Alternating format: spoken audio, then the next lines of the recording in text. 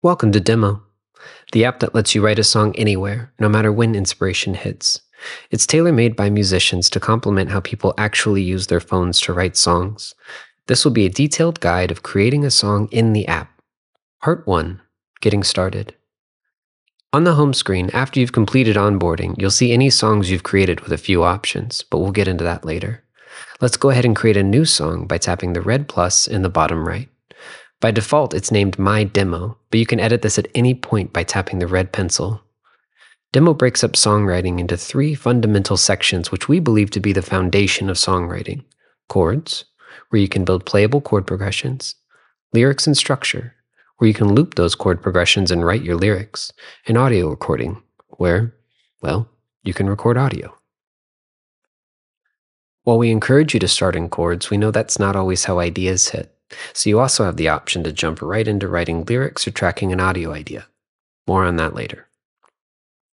Part 2 Chords.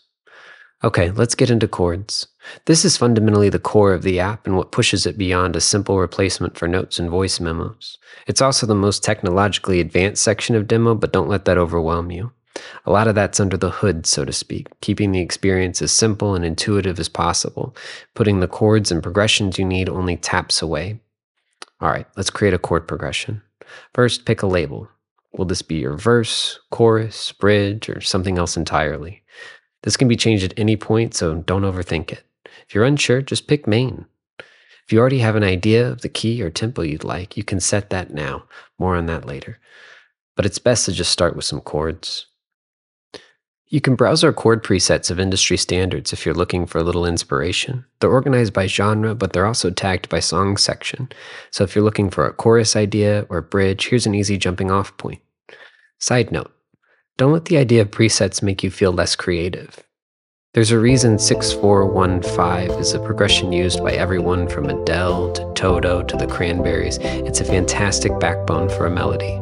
Also, any preset can be edited and customized to match exactly what you have in mind.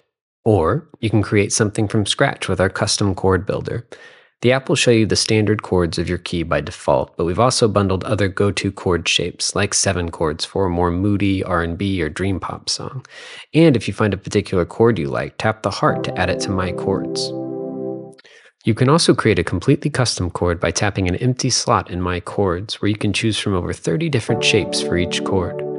For this progression, we'll keep things more straightforward with standard chords. When you select a chord, it will automatically fill in your whole phrase so you aren't having to reselect the same chord over and over. You only have to tell the app when you'd like it to change. Each line here indicates a measure change. You can see that by default, each chord slot represents a half note. However, if you'd like faster chord changes, you can zoom in to change on the quarter, eighth, or sixteenth note. You also can, of course, undo, redo any changes, clear all the chords to start over, add a moment of silence, add or remove phrases, and you can hold and drag to rearrange lines of chords. You'll notice this keyboard when you select a chord. This shows you the notes in your chord, which typically includes two octaves. If you'd like to shift the voicing up or down on any chord, you can just tap the plus or minus. This will retain all the same notes within your chord but shift the root note. This is a fun tool to get lower or higher chords, or you can keep one root note while changing the chord. Once you have a chord progression, either custom or preset, you can continue to customize. First, you can change the key at any point. The chords will maintain their position but shift up or down in pitch until you find a key that best suits your vocal or melody idea. Next, you can change the tempo. This number here signifies the beats per minute. You can speed it up or slow it down by dragging the slider, then fine tuning with the plus and minus, or you can simply tap the tap button for the beat you have in your mind. By default, progressions will be in a 4-4 time signature. However, you can change this to 3-4 or fully customize if you have a more advanced idea. If you're unsure here, just start with 4-4 or 3-4 and feel it out. You can then change the instrument sounds to match the idea you have in mind. This is my personal favorite lineup of instruments. Then you can pick your playback rhythm to give your song some context. The app will automatically remap your chords accordingly. Choose from over 40 options to match the cadence of your idea. turn instruments on and off as needed, and you can also use the remix feature to mix and match instrument rhythms for more customization.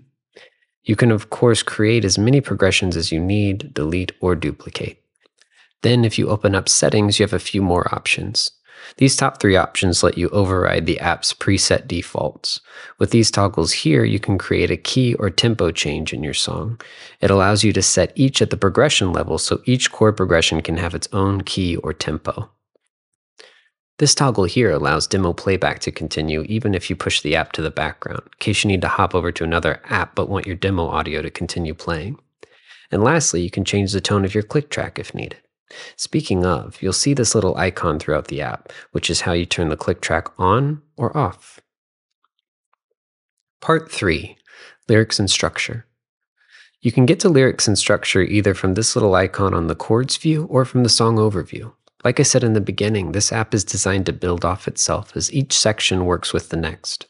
Not only is lyrics and structure where you can write your lyrics, but it's also where you build your song by looping the progressions you just created.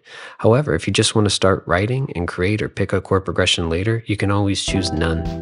Everyone's writing process is different, but we generally recommend taking it on section by section and going back into chords as you need more progressions. It's why we design these back and forth icons between chords and lyrics and structure. But let's go ahead and build out the song. Similar to chords, you can also delete and duplicate. You also have the option to hold and drag any song section to reorder as needed. Then, within song sections, you can adjust the number of loops anytime as needed, or you can let it loop indefinitely while dreaming up your melody ideas. When you're writing your lyrics and feel stuck, we've also got a little rhyme tool here for inspiration. Now that you've got your song written and built, you're ready to record. Part 4 Recording. We try to keep our audio recorder both simple and flexible. As you can see, it overlaps your lyrics so you can read while you sing. It will also follow along with your lyrics so you aren't getting lost. These lines here indicate song sections and allow you to jump quickly from one section to the next. The count in will give you a full measure of click track before starting your song, and the click track will keep that click playing during your recording. You can just start recording, or you can import if you've got some other audio you'd like to bring in from your Files app. Once you have your audio, you have some more options. You can trim, drag, cut, delete, duplicate, or import into any track.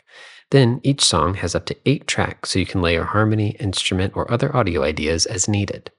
Confirm, and now you've got yourself a song. Part 5 Mixing. Once you've got your song built and recorded, maybe you want to adjust some levels so the right parts are getting the attention they deserve. Tap the mixing icon next to the play button for a simplified mixer. From here, you can mute, solo, or adjust the volume of any instrument or audio track. We've also added the option for reverb across the board. Within audio tracks, compression is turned on by default to stabilize the volume in your recordings, but this can be turned off by simply tapping. Once you've got your levels where you need, you're ready to export. Part 6 Export. There are three main options in export. Mix Song allows you to export a total mix of your song as it sounds in the app. The printable chord sheet generates a text file that includes the chords for each section as well as all of the lyrics for the song, so you can share with a band or a co writer or review yourself for live performances. MIDI and audio tracks allows you to export each track separately, including MIDI of each instrument track and separate WAV files for each audio track. You can then import this into your preferred DAW or DAW to continue producing your song idea into something bigger. Part 7 iCloud Co-Write in Folders. To come back to the home screen, you've got a few more options here. You of course have a few organizational options for views, but more importantly, you can sync your songs to the iCloud so you can access your work across devices or reinstall the app without losing your songs. This turns on the sync. This keeps sync turned on by default. And this allows you to sync or unsync specific songs. If you have the iCloud turned on, you also have the option to collaborate on a song with anyone you invite with co-write. You can either directly invite them or generate a link to copy and paste. Once they accept their invite, all collaborators can work from one centralized project no matter where they are. Chords, lyrics, and recordings automatically sync across devices. Then, for additional organization, you have the option to create folders. Simply tap the folder icon and choose your name. From there, you can drag and drop songs or tap the settings icon on your folder or songs for more ways to move from folder to folder. Oh, That's the full tour of Demo. We hope this was helpful. Please let us know if you have any questions or features you'd like us to cover in more detail. And so sincerely, thank you so much for trying and supporting this app. We're a very small team of music lovers and songwriters, so it means a whole lot to us to see people creating with Demo. Happy writing!